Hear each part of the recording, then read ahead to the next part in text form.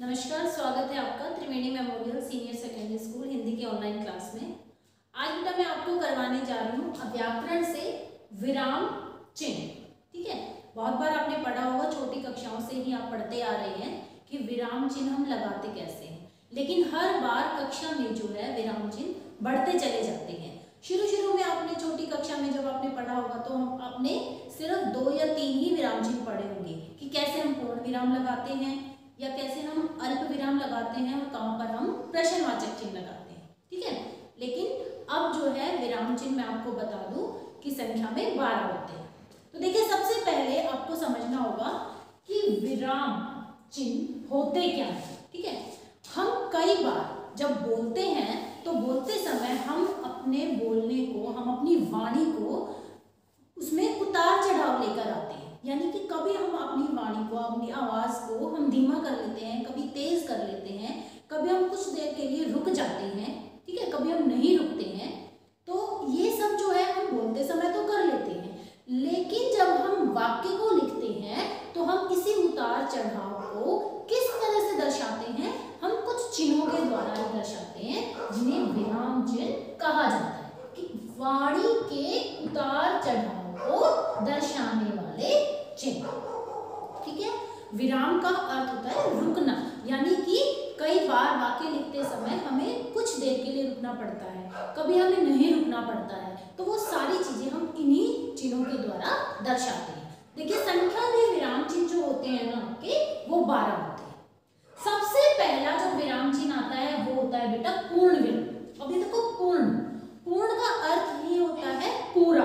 यानी कि जब आपका वाक्य पूरा हो जाता है तो हम लगाते हैं पूर्ण विराम और पूर्ण विराम सिर्फ़ ये डंडा होता है कई बार जो है हम क्या करते हैं हम इसके नीचे बिंदी लगा देते हैं लेकिन ये गलत है बिंदी नहीं आएगी ये सिर्फ़ डंडा आएगा इसे हम पूर्ण विराम बोलते हैं जो वाक्य के पूरा होने पर लगता है उसके बाद आता है अल्प विराम देखो अल्प का मतलब क्या होता है थोड़ा ठीक है जब हम वाक्य लिखते समय सिर्फ़ थोड़ी सी देर के लिए रुकते हैं तो वहाँ पर हम ये अल्प विराम लगाते हैं ठीक है ये हमारा अल्प विराम है जैसे मैंने केला, संतरा, आम खाया। अब केला, संतरा, आम, इन तीनों के बीच में हम अल्प विराम का प्रयोग करेंगे।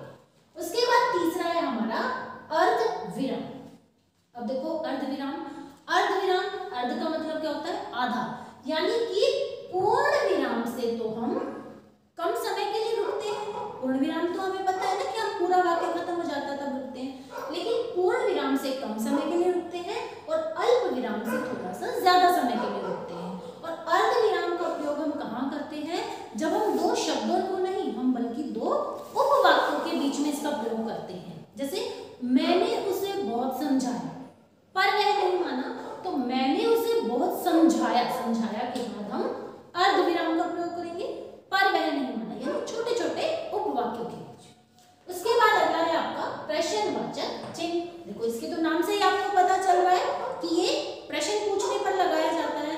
तो जिस वाक्य में आपको ये लगता है कि यहाँ किसी प्रश्न को पूछा गया है तो वहाँ हमारा प्रश्नवाचक चिन्ह उसके बाद अगला है हमारा योजक चिन्ह अब योजक चिन्ह क्या होता है?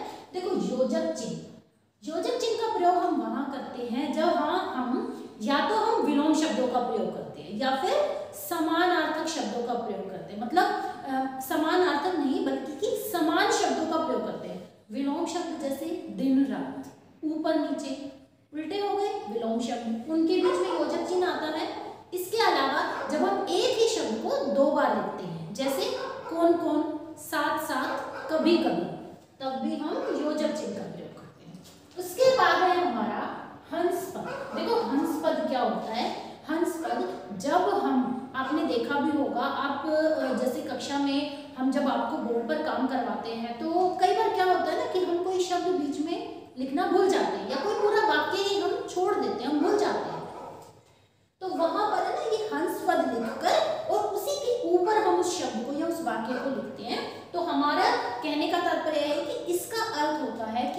जो वाक्य या जो शब्द हम भूल गए हैं, वो हमने यहाँ इसको हंस पद लगा के लिख दिए कि ये यहाँ पर आएगा। उसके बाद है आपका विस्म्यादी बोधक चिन्ह। अब देखो, विस्म्यादी। विस्मय। विस्मय का अर्थ क्या होता है?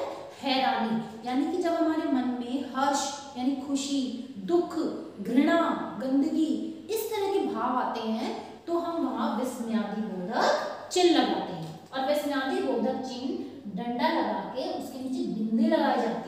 ये विस्मयादि बोधक होता है और सिर्फ़ डंडा पूर्ण विराम होता है। देखिए, उसके बाद आता है आपका लाघव चिन्ह। देखो, लाघव लाघव लाघव शब्द किससे बना है? लघु। लघु का अर्थ होता है छोटा। यानी कि जब हम किसी भी शब्द को छोटा करके लिखते हैं, संक्षिप्त रूप देते हैं उसको तो वहाँ हम लाघव चिन्ह लगाते हैं। जैसे हम डॉक्टर पूरा नहीं लिखते हम डॉक्टर पूरा ना लिखकर हम क्या लिखते हैं हम लिखते हैं डा और ये लाघव चिन्ह तो ये होता है शब्द को छोटा करना उसके बाद है आपका निर्देशक चिन्ह। निर्देशक यानी हम निर्देश दे रहे हैं। निर्देश, यानी जब हमें कोई बात कहनी है तो उस बात को कहने से पहले हम निर्देशक चिन्ह लगाते हैं। और देखिए, निर्देशक चिन्ह और योजक चिन्ह में क्या अंतर है? सिर्फ़ आकार का अंतर है। योजक चिन्ह छोटा होता है, निर्देशक चिन्ह थोड़ा सा बड़ा होता है। ठीक है, जैसे माँ कहती है, फिर हम निर्देशक चिन्ह लगाएँगे। सदा सत्य बोलना चाहिए। उसके बाद है हमारा विवरण विवरण विवरण का अर्थ होता है, देखिए, जब हम किसी भी उदाहरण को अगली लाइन में लिखते हैं, अगली पंक्ति में लिखते हैं, जैसे हम करते हैं ना कि लिंग के दो भेद होते हैं, और फिर उससे नीचे वाली लाइन में हम पुलिंग और स्त्रीलिंग लिखते हैं तो ये हमारा विवरण चिन्ह होता है, ये वहाँ पर लगता है। उसके बाद है उद्धरण चिन्ह, देखो, उद्धरण चिन्ह उद्धरण चिन्ह या तो हम का, किसी कहानी का लेखक का नाम जो है, हम दिखाना चाहते हैं, दर्शाना चाहते हैं मुख्य रूप से।